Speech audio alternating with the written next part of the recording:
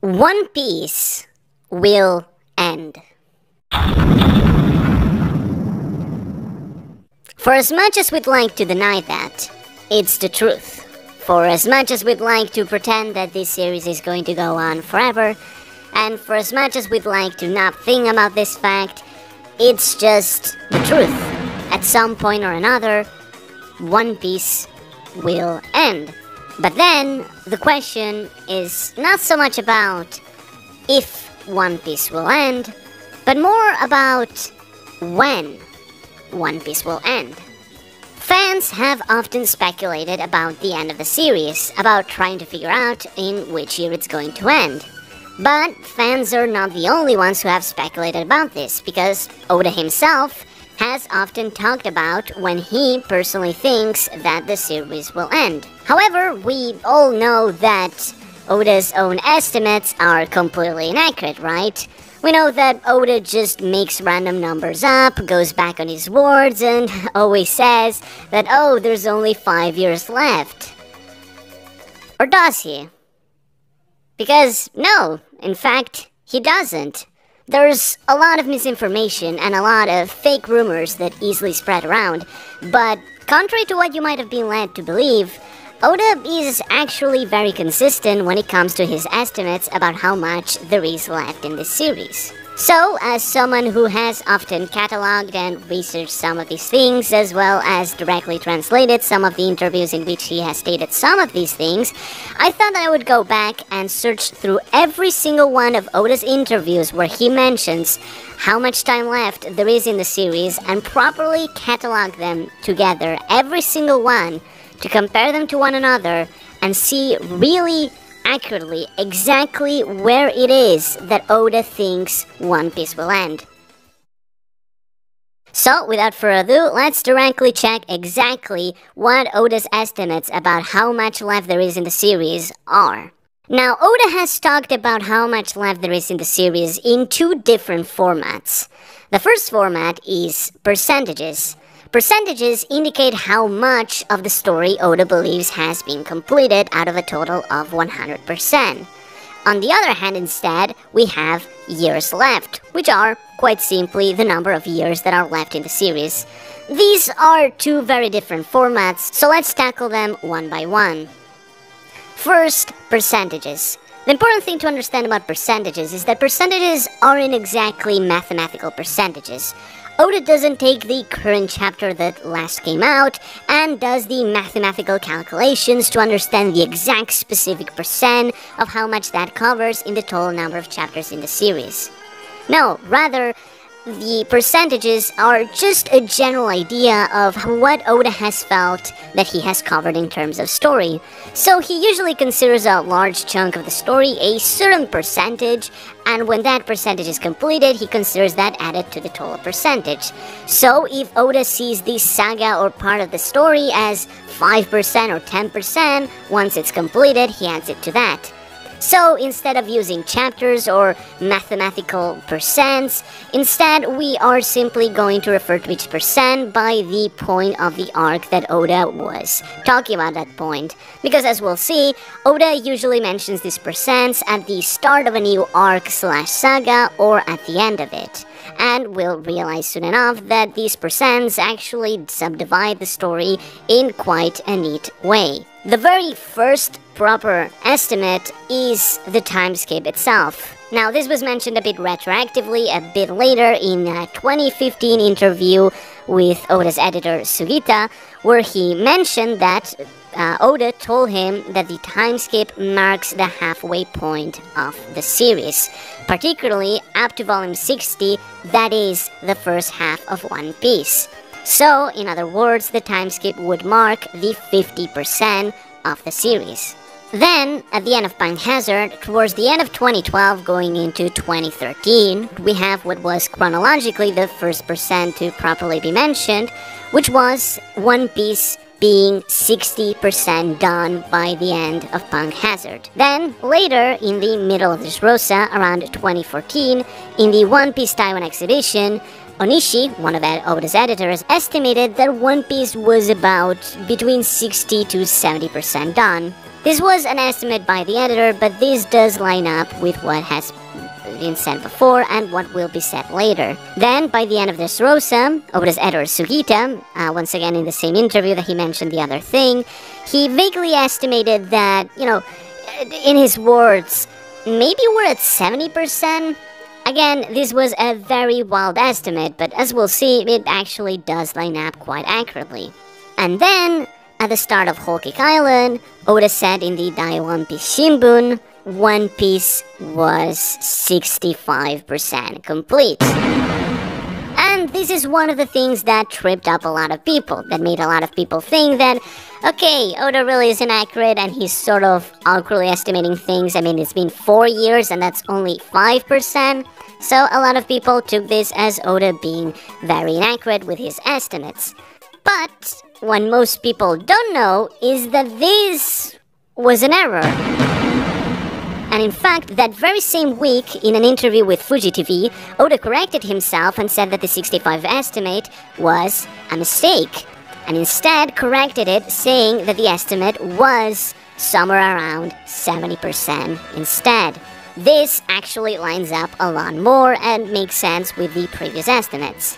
And then finally, at the start of Wano, Oda estimated that One Piece was arriving at the 80% mark in a Yomiuri Shimbun interview. If we look at all of these estimates together, they're actually generally quite accurate. If we put all of these together, then it sort of starts to make sense. If we consider the entirety of the post time skip a 50%, then we can actually quite neatly divide it into five parts. The first part would be Fishman Island and Punk Hazard, the 60%.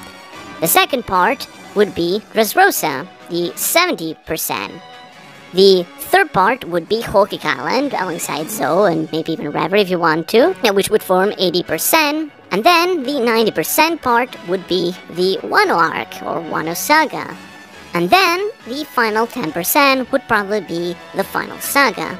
Now, obviously, I don't need to tell you that both Wano and the final saga are probably going to be a lot longer than these previous three ones. But because it's just simpler to divide each of these into five, because the new world is formed by these like big five parts, then it makes sense that Oda divided each of them into 10%. Rather than just calculating on a chapter by chapter basis, he considered each chunk a percent, and every time one of them was completed, he updated us. So, it seems to line up quite accurately. We're heading towards the end of Wano, oh, and by that point we'll have be around 90% done, but that doesn't necessarily mean that the series is almost over, because the final saga is almost surely going to be the longest saga in the series, and it might even be formed by several arcs, which might also include some setup arcs.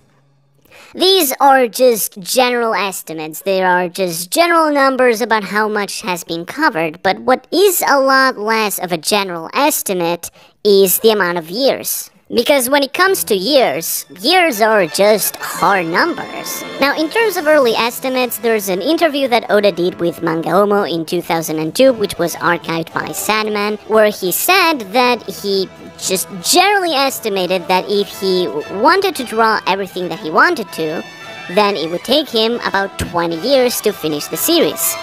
Since this was in 2002, this would put it in 2022, and Put together, well, it's not that inaccurate. Obviously, this was a wild guess done very, very early on, and I wouldn't really consider this a proper estimate considering how early it was, but it lines up surprisingly well. Something also to mention is that while One Piece originally started in 1997 and has been going on up until now, originally Oda didn't intend to let the series last very long. He mentioned much later that he actually intended the series to be somewhere around five-ish years long. Uh, he said that he would do like a year or a year plus, maybe a year and a half of East Blue, where Luffy gets all the Straw Hats. Then there would be three years of sailing through the Grand Line and having adventures. He even revealed that this was where he Luffy was originally going to fight the Yonko. And then there was gonna be one year of a final saga. Of course, things became much, much longer. The East Blue lasted two years, and Luffy didn't even recruit everyone in the crew there, and a lot of things just started to pile up, so it's obvious that the series just extended long since before that point. But that was long, long ago. That was when Oda was starting out, and he didn't really have an idea like he does now. The problem is that a lot of people take this claim of Oda saying that he originally wanted it to be 5 years and use it to say that Oda has been saying 5 years a lot, but just because Oda intended 5 years all the way back then, it doesn't mean that he really gave that estimate at any point, it's only something that he mentioned retroactively. The first proper mention of how many years there are left in the series was actually in 2014, in the One Piece Taiwan exhibition we mentioned before, where Oda's editor Onishi estimated that One Piece would end in 10 years. That would put it at 2024. And then, later that year, in a China Times interview, Oda estimated that he could keep drawing for another 10 years. This statement lined up with Onishi's estimate, and Oda was basically estimating that, yeah, he was expecting to probably be done by 2024. Then it happened.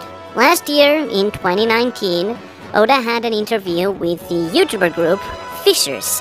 And in this interview, Oda stated very bluntly that he wanted to end One Piece in five years. Now, people obviously panicked about this and were saying, oh, well, no, it's Oda saying 5 years again, but this is actually the only one instance where Oda has mentioned there are 5 years left in the series. He has never mentioned this again. Fans weren't the only ones to be skeptic, in fact, Oda's own editor, Naito, was a little bit skeptic at first, but then he later corrected himself by saying that Oda's statement was actually very realistic. Naito specifically stated that oh, while Oda tends to lengthen things, he also warned fans that if Oda says it will be 5 years, then it will surely end in 5 years, and warned readers to get on the hype train, to ride the wave while there is still time, because at some point, even if it's sooner or later, the series is going to end. And that takes us to this year, 2020, where in this summer, in a TV interview with Arashi, Oda stated confidently that One Piece had four to five years left.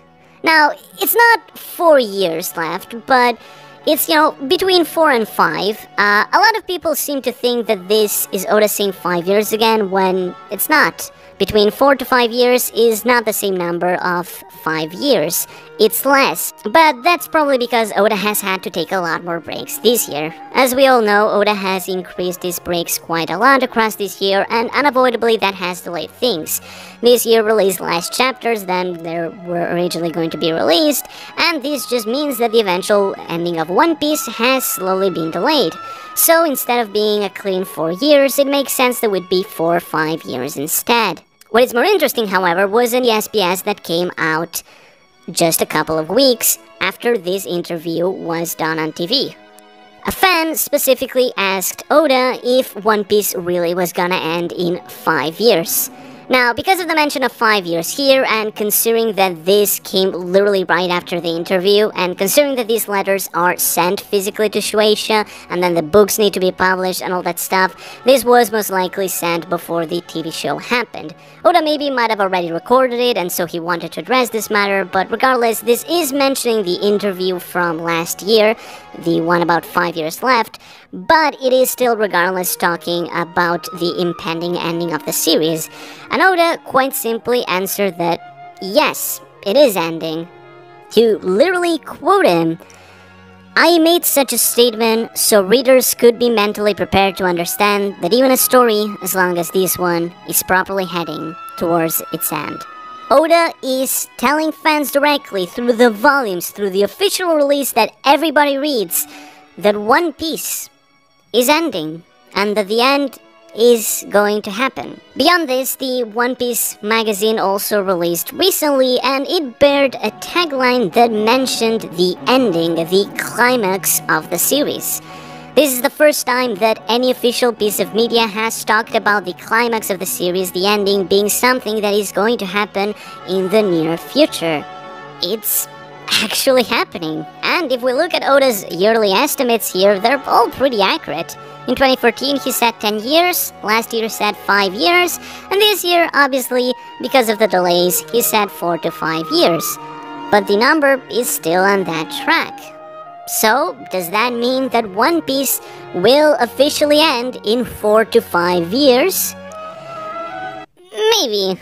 And this is because even despite all this, even despite all the misinformation about Oda's statements and the fact that they're actually very, very accurate, even if Oda is accurate and firmly believes this is when One Piece will end, sometimes he extends the story.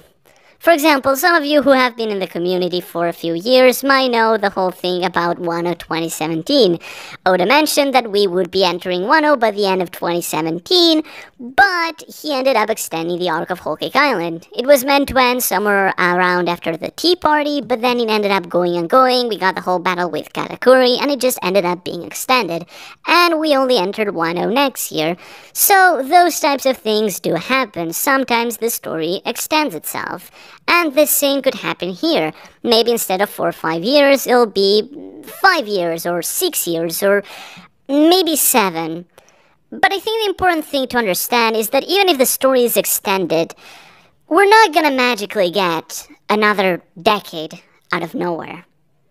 We're not going to get another extra five years out of nowhere because Oda has already said that he has everything in mind very clearly. In the Arashi interview, he even mentioned that he was very confident about where the series is going to be headed now. So I, while I totally see him like maybe extending the final arc a little bit, or, you know, maybe it takes him a bit longer to tell what he wants to say. I don't think he's going to randomly throw in a new arc that he just never had in mind and that he never foreshadowed or set up, and that he's just going to extend the series by years and years and years.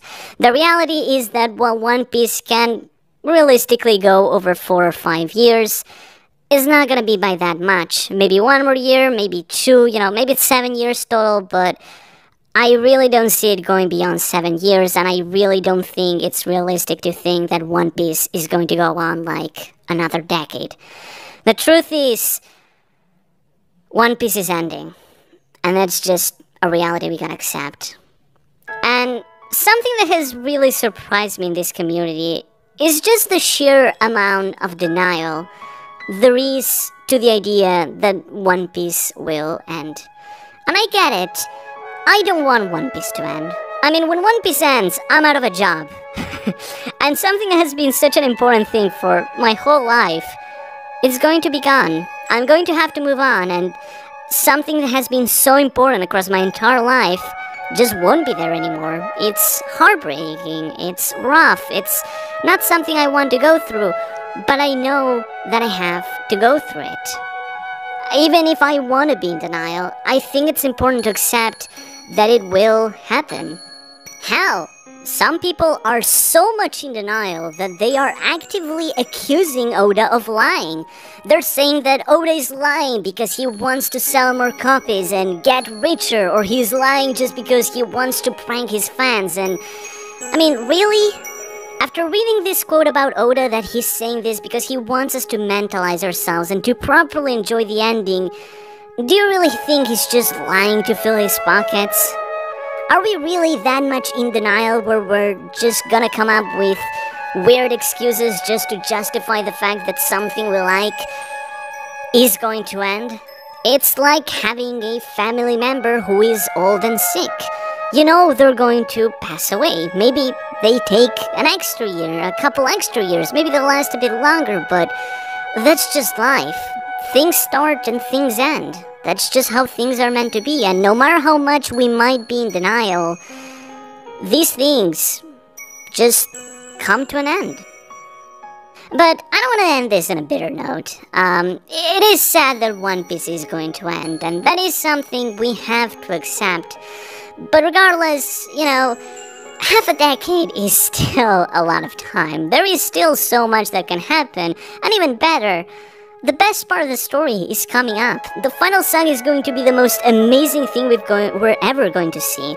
It's going to absolutely outdo everything in the series. Oda said that the final saga would make Marineford look cute. The final saga is going to be absolutely amazing. I have no doubts about that. And it's going to be something that is going to bring us all One Piece fans together in such an amazing way. And I have no doubts that Oda is going to deliver a massive, amazing ending. I understand why some fans are scared by this prospect of 4 to 5 years because they think that the story is going to be too rushed, that Oda is just going to speed through things, and that there's just too many mysteries to talk about in such a small time. But you have to keep in mind two things. For one, stories don't necessarily need to be massive. The final arc or the final saga doesn't really need to be 300 chapters long or absolutely massive. Some of the most intense uh, arcs in the series, some of those that have some of the biggest world-changing events like Marineford or Reverie are incredibly short. Hell, Marineford is just barely over 30 chapters long. And when it comes to all the mysteries, they're probably all gonna be revealed at once towards the end. There are so many mysteries that are so intrinsically tied together to the Void Century and the Great Kingdom that we're probably gonna get them all at once. It's gonna be like Reverie Christmas every week I can't wait. Regardless, what I'm getting at is just trust in Oda. Oda isn't doing this because he's on a deadline. He doesn't want to finish quickly because he has to. He's just doing it because he feels like that's the natural end. So just have faith in Oda. And on the flip side, while this final saga is probably going to be amazing, of course, once it ends, it ends. And no matter how amazing the final chapters may be, the end of the series is like I said, a bitter event, something that is going to be hard to swallow. But just because One Piece will end doesn't mean that it's going to be the end of it all.